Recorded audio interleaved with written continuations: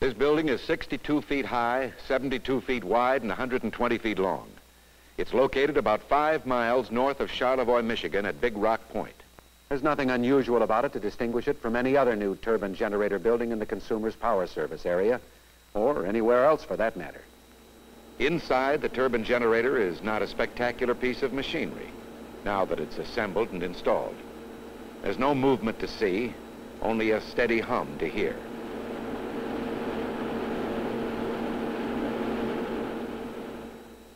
The administration building at Big Rock Point is well designed, handsome, modern, but it's a lot like many industrial structures.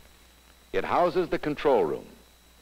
There are offices and other rooms too, but the control room is the most important. Only an experienced eye would be able to notice anything different about these panels. In most respects, they're much like those in any other power plant control room. But this, this is different.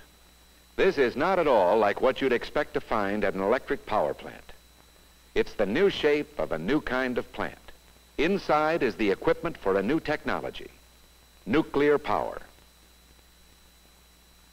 Here is where Consumers Power Company and its customers are getting an adventurous and challenging head start on tomorrow.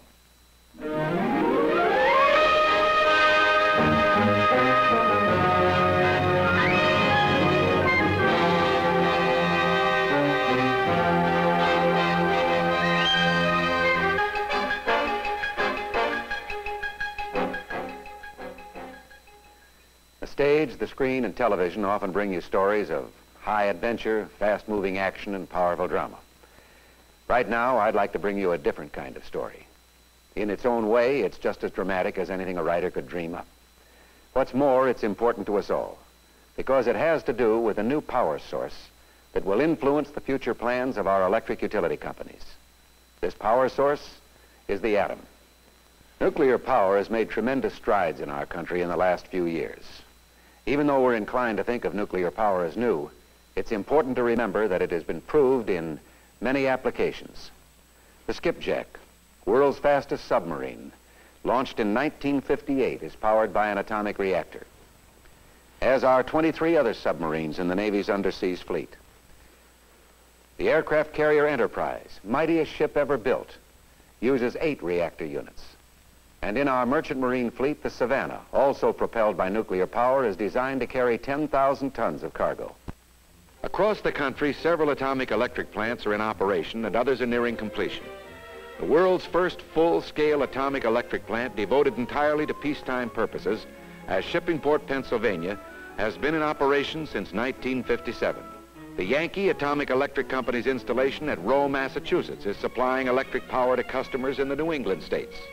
The Consolidated Edison Company is operating the Indian Point plant on the Hudson River above New York City. This is one of the largest nuclear plants in terms of electrical capacity completed by a utility company. Right here in Michigan, we have the Enrico Fermi Atomic Power Plant near Monroe. Consumers Power Company is associated with this reactor project, which is connected to Detroit Edison generating facilities. And the Commonwealth Edison Company's Dresden Power Station near Chicago has been on the line since 1960, producing, of course, the same kind of electricity that a conventional power plant produces. Which brings us to an important point. There's nothing mysterious about an atomic power plant. Basically, we're just using a new heat source. The standard fuels used in the production of electric power have been coal, oil, and natural gas. In the atomic power plant, we're using a fourth heat source, atomic fission. Atomic fuel has two advantages. It isn't consumed rapidly like other fuels, and it's very compact. For instance, the heat output of one pound of uranium can equal the heat output of 70 tons of coal. In the Big Rock Point nuclear plant, the heat produced by uranium fission is used to turn water to steam. The steam is passed through a steam drum to remove excess moisture. The resulting dry steam goes on to the turbine where it spins the turbine blades. The turbine drives the generator and electricity flows to the transformers and the distribution network. Once the steam has done its job in the turbine, it's turned back to water in a condenser. The water is pumped back to the reactor to be turned into steam again. Every furnace has to be regulated, and the atomic furnace is no exception. You regulate the heat output with control rods. As they are moved down and away from the fuel core, the fission process produces more heat. Inserting the control rods all the way shuts the furnace off completely. Remove the rods, it starts up again. Before we can get our furnace going, we've got to get it into place and then put fuel in it. Early in 1962, the reactor vessel arrives at the plant site from Chattanooga, Tennessee. Working in bitterly cold weather, men and machines nudge the vessel into the sphere inch by inch and foot by foot. After four days, the vessel is raised to its upright position. It took two years to build. Any damage now would jeopardize the entire plant schedule. Slowly, the vessel is lowered into its nest of steel, concrete, and huge pipes. Finally, it's in place. No time is lost in outfitting the furnace with its hardware. Underneath, the control rod drive equipment is added. Quarters are cramped. Inside the furnace, men install the grids that will guide the fuel bundles into place and keep them in proper alignment. Clean white work clothes are worn to help keep the interior of the vessel spotless. Cloth caps and shoe covers are also worn. Every night, the opening of the vessel is covered with plastic film to keep out dirt and dust. Check-in time in the morning. Every day sees more and more technicians, fewer and fewer construction workers. The furnace is just about ready for the fuel. 2,400 miles away, the fuel is ready for the furnace. At the San Jose, California plant of General Electric, fuel bundles for the big Rock Point plant are brought out of storage. Each bundle contains 144 tubes filled with small pellets of uranium oxide.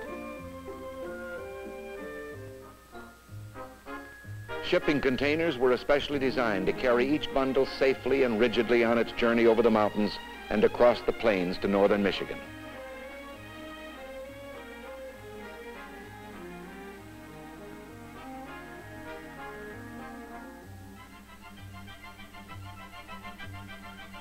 The shipment arrives at the plant on time and in perfect condition.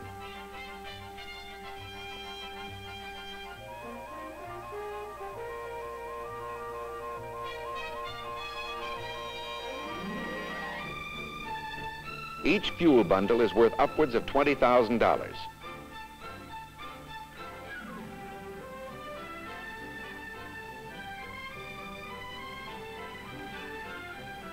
After careful inspection, the fuel is placed in storage at the plant, but it won't be there for long.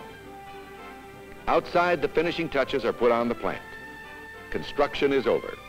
Acceptance testing has been going on inside as plant personnel familiarize themselves with the mechanical equipment. But in a sense, they've just been practicing until today. And today is September 27th, 1962. Today, for the first time, we'll know whether all the planning and design, all the time and effort will pay off. Today, we will attempt a controlled chain reaction. In nuclear terms, we will go critical. The first of seven fuel bundles goes down into the water in the reactor vessel. The control rods are fully inserted. No reaction can take place until they are lowered. All eyes are on the control room. The control rods are lowered slowly. And as expected and hoped for, the nuclear reaction takes place. It's a big day at Big Rock Point. The atom has been put to work on schedule. In the Big Rock Point Information Center, visitors learn a lot about the atom and how its energy is used to make electricity. During the summer months, thousands of people visit the center every week. From the balcony, you can see much of the activity around the plant. And you can see also the scenery for which this area is famous. Few of the visitors had a chance to see the big rock itself back in the fall of 1959 a few months before the Bechtel Corporation, engineer constructor for the project, started work on the site.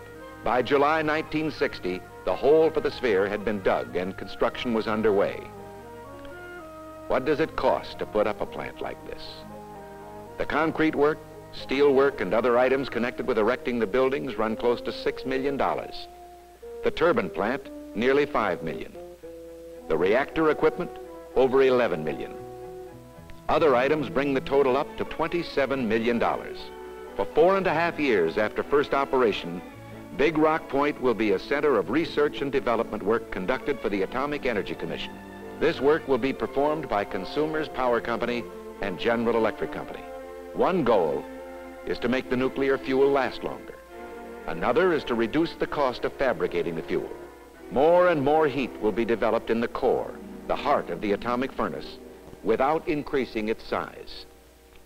These are essential objectives in the effort to make nuclear energy fully practicable as a heat source for generating electric power.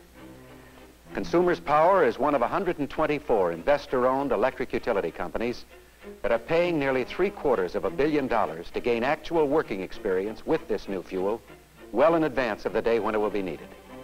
Looking ahead is not new for the electric industry. They must always put money into new plant and new techniques ahead of the need. And the Big Rock Point nuclear plant may well be one of the industry's most productive achievements. Nuclear fuel, as it is used at Big Rock Point, is very likely to become economically competitive with coal. That day, that tomorrow may seem a long way off to us now. It isn't. Not in the technology of power production. Consumers Power knows this. They've invested money, time, and manpower to build a power plant for northern Michigan. They've invested money, time, and manpower to gain a head start on tomorrow.